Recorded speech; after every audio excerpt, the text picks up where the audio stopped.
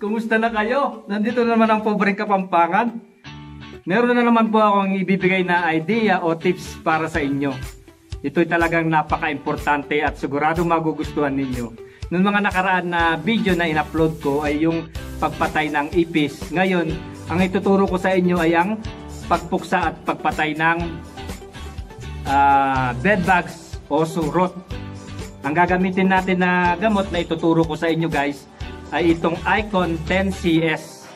Ito'y mabibili sa mga pest control, yung nagtitinda ng pesticide sa mga tindahan. Ayan, mag magtanong kayo. Dalawang choices po yan. Isang pang indoors at saka pang outdoors. Yung gagamitin natin ngayon is indoors, outdoors. Yun po yung pipiliin ninyo. Wala siyang amoy. Pwede siyang gamitin sa labas at pwede siyang gamitin sa loob. Itong Icon 10CS na ito, naglalaman ito ng 1000 ml.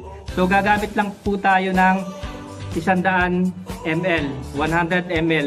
Itong scoop na ito, ang equivalent nito is 25. Apat na ganito ang gagamitin natin guys. Isasangkap natin dito sa ating pang-spray na 5 litrong tubig. Ang ilalagay natin ay 100. Apat na scoop guys. So, i-mix natin itong ano natin mga gamot na ito dito sa ano pang spray natin. Isa. Dalawa. Tatlo. Apat.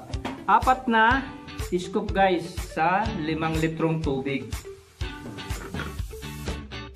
Alam nyo guys ang icon na ito talaga pong napakabisa. Ginagamit it, ko ito sa sampung taon dito na kontrata ko. Nag-spray ako sa mga bahay-bahay lalo sa mga manager namin sa guest house sa substation at saka sa mga ano kapaligiran.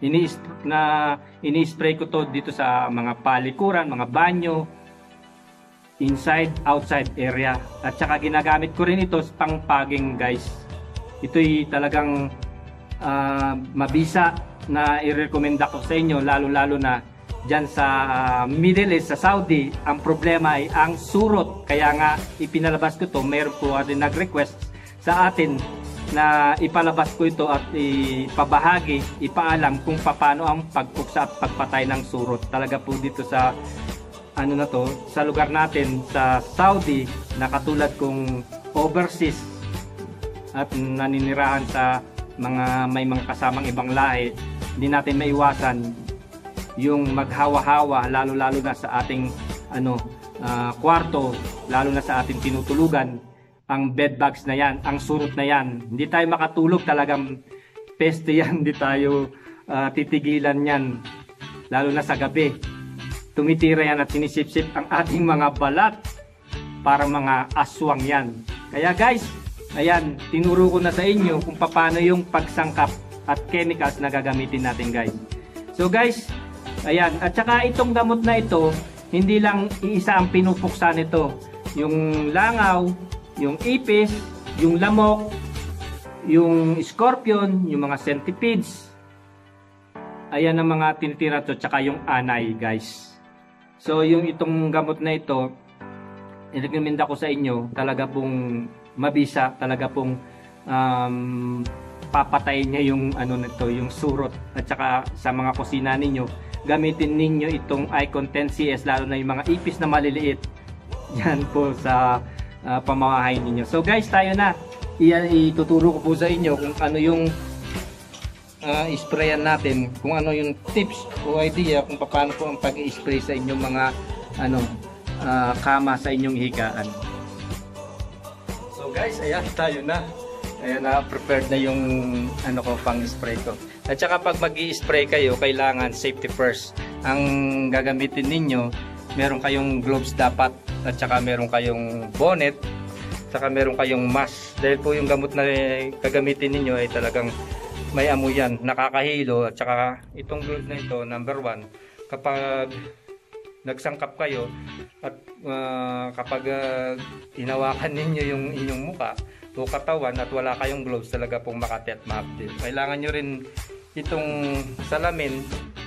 Kasi pag nag-spray kayo baka matansitan kayo. At saka ito gamit ko itong uniform to so guys tayo na. Turuan ko kayo kung paano ang pag-spray dito sa kwarto. Ayan guys.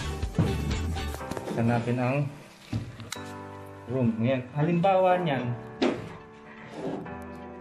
lalo sa inyong mga higaan unang-una safety tanggalin ninyo itong mga unan ninyo. Kasi itong gamot na ito makati.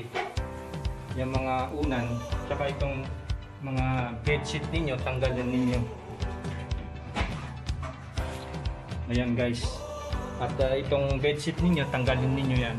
At sprayan yung gilid ng inyong kama. Kagaya niyan yung mga gilid-gilid na yan dyan sila namamalagi. I-sprayan nyo yun guys. Kaya nito. Ayan. Yan hanggang doon sa dulo. At saka itong mga singit-singit nya i-spray nyo rin. Yan guys. Dyan sila namamalagi. At itong kama ninyo siyempre sa ilalim yan dyan, yan dyan sila namamalagi dyan sa ilalim ng kama na yan kailangan sprayan ninyo yan guys at saka itong bed nyo na yan, ilalabas ninyo guys. Ipapaaraw. Para yung mga itlog na nandyan, mamatay. Diyan sa mga gilid niyan guys. Spray nyo rin yan. Ayan, dyan. Kita ninyo. Yan, itataas ninyo itong tama ninyo. I-spray nyo yan sa ilalim yan guys. Kasi dyan din yung, yung mga surot. At uh, yung kama na yan, kapag na-spray ninyo guys, ipaaraw ninyo para yung mga itlog at saka yung mga natira pa doon, mamatay sa init ng araw. Yan sa mga gilid ng inyong ano, kama yan, yung mga butas-butas na yan. Diyan din namamalagi yung mga ano, surot guys. Ayan. So, simple demonstration lang po yan, basic. Para alam nyo rin yung pag spray At saka safety first, yung mga gamit ninyo, yung mga kumot, unan, kailangan i-separate ninyo.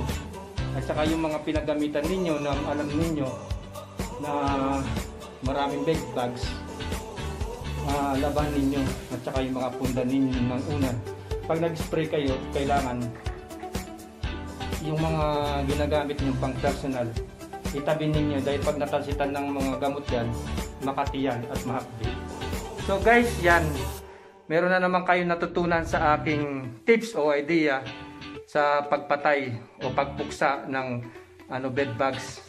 Talaga pong napaka-importante itong video na, po na ito para po sa inyo, lalo-lalo sa Middle East na uh, kasama ko ng mga OFW na pobreng kapampangan na nagtitip sa inyo araw-araw at nagbibigyan kayo ng uh, ideya sa mga uh, pamatay na yan. Dahil ako po ay pest control technician dito sa Saudi kaya yan ay itinuro ko sa inyo at ibinahagi para meron din kayong matutunan at mm, ay apply sa inyong ano bahay sa inyong accommodation.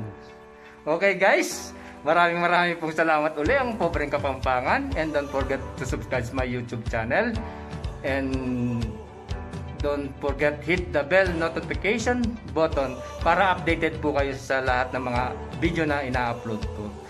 Okay guys, enjoy watching. Have a nice day and God bless po.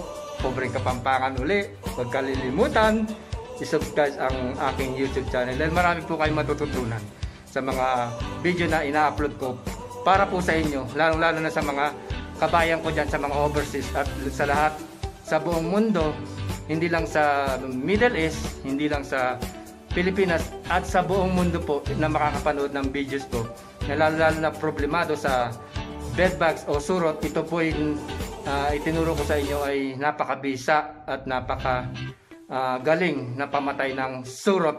Okay po? Okay po, maraming maraming salamat. Have a nice day ulit sa inyong lahat and God bless.